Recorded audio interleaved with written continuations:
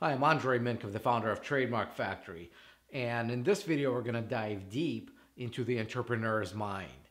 We're going to talk about certainty and commitment when it comes to branding, when it comes to trademarking, and in general.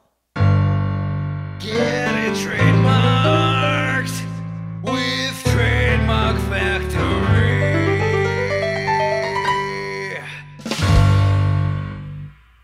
times has somebody given you a perfectly logical explanation why you needed to do something for your business? And you agreed, it made perfect sense.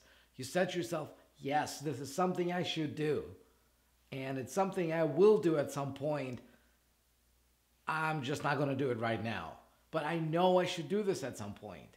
It happens a lot to a lot of business owners. And interestingly, the reasons we come up with why we don't do the things we should do are usually reasons why we should do those things in the first place. But this boils down to two things. This boils down to commitment and certainty. The problem is a lot of business owners, they're waiting for that sign from above that they've accomplished a certain milestone. They've reached a certain level of revenue, a certain number of clients, certain number of likes on Facebook. And they're like, you know what? When I hit that milestone, that's when I'm going to take care of this, of this, of this, of this, because they know they have to take care of this, this, this, and this. But they're waiting for something externally to happen. And what they're really waiting for is certainty. They're waiting for absolute certainty that whatever they're doing is the right decision, that whatever investment they're about to make in their business is the right investment, that whatever they're planning to do, they're going to do at the exact right time, at the exact right space, with the exact right people, for the exact right amount of money. And the interesting thing about certainty is that those business owners believe that once they have certainty, that's when they're going to be able to make a full commitment to the business. But guess what? Commitment never comes as a result of certainty. It's the other way around. First, you make a decision. First, you make a commitment. Then, certainty comes. Think about any decision you made in your life, any significant decision. There was no certainty. No, that's why it's called a hard decision. But once you've made that decision, once you've committed to it, guess what happened? You became more and more certain that the decision was right. And more often than not, it was right. It was the right decision. And when you started your business, when you came up with this idea, you know what, I'm to do this thing, were you absolutely certain? No. No. But you made that decision and you started moving in that direction. Your role as a leader, as a business owner, as an entrepreneur is to make a series of decisions, a series of commitments to take your business from an idea that you came up with towards the dream, towards the vision that you see for your business. And if you're going to let those decisions, those commitments become hostage to this idea that at some point you're going to have absolute certainty, let me tell you, you're never going to hit your dream. You're never going to get to that vision because you're never going to get that certainty. Think about this. All the milestones that we have for ourselves are made up. If you say to yourself, well, if I hit a million dollars in revenue, that's when I'll know that this is a real business.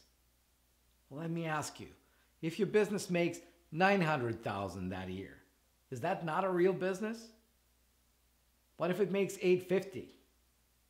See what I mean? And it doesn't matter what the numbers are. What matters is that we make all this stuff up. And the reason we make this stuff up is to give ourselves an excuse to not commit fully to our vision, to not commit fully to what we see for this business, and to give ourselves a way out if we don't hit those goals. Look at the most successful companies in the world, the multi billion dollar companies. Do you think they have absolute certainty about their every decision?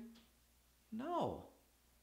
They're facing huge decisions, hard decisions, and they're not certain. But what happens with the multi billion dollar companies is the same thing that happens in the mind of business owners who are trying to get to their five figures. Commitment always comes first. Clarity and certainty come as a result of that commitment. So, with respect to branding, with respect to trademarking, again, I can give you perfectly logical reasons why you should trademark your brand earlier rather than later. And I know that logically and intellectually you understand this. And I understand that you probably want to do this.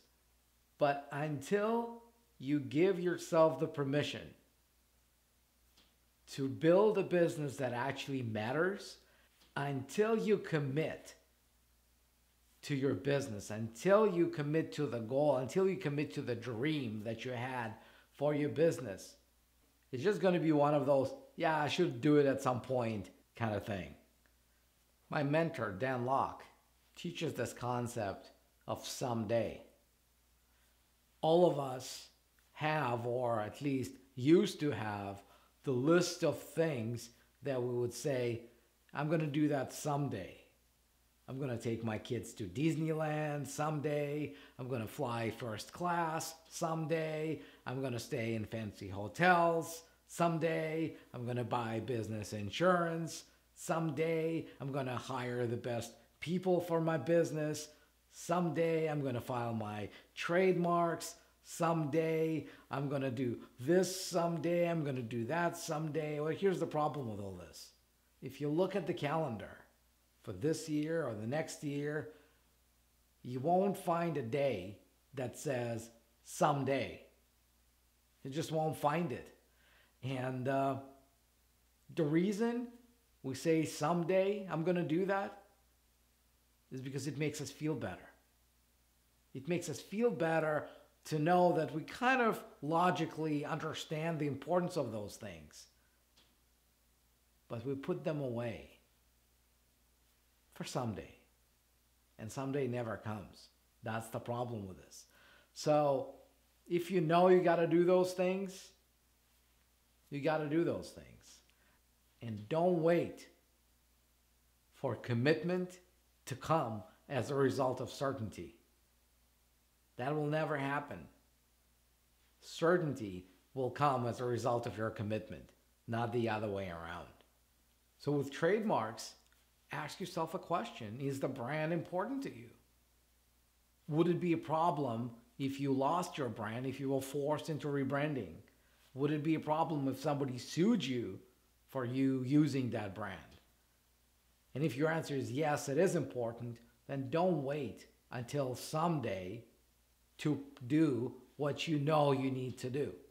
Don't wait until someday to protect it because someday never comes. And by the time you decide someday has come, it may be too late. And be honest because your answer may be no, it's not important. And it's perfectly okay as long as you're honest.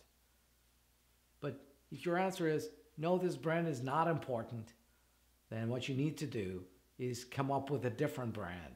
A brand that's actually going to mean something to you. A brand that's going to help you commit to give yourself the permission to make this business into something that actually matters. And that's when certainty comes. So if you found this video useful, if you found it interesting, subscribe to my channel right now, get notified whenever the next video goes live. We post new videos every day from Monday to Friday and sometimes we post on weekends too.